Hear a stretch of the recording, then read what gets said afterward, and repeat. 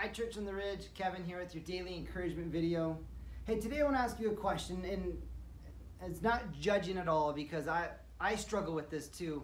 Uh, but when was the last time you fasted? When was the last time you gave up food for any amount of time and replaced it with time spent with God?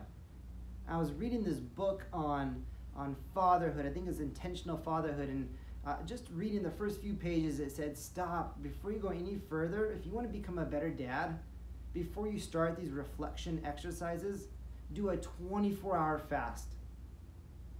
I said, "Okay, I'm gonna do it," and I did it, and I was hungry, and I forgot.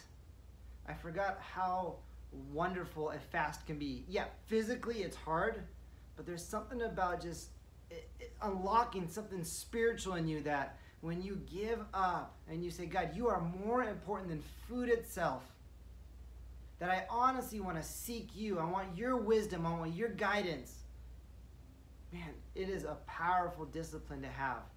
And so, if you have a, an important decision coming up, or you just want to get better in a certain area, might I challenge you to do a 24 hour fast and set your spirit up to really hear from the Lord before you make a decision or before you step into any new season that you're going into.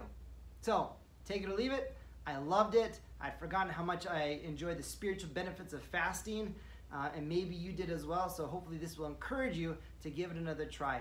Let me pray for you. Father, I thank you for this time that uh, we get to spend with you and, and, and just do life together and be a community together, Lord. And I pray that uh, my friends would be encouraged today to spend that time with you and uh, maybe even try out fasting. Lord, we give you this day in Jesus' name. Amen. Love you guys. See ya.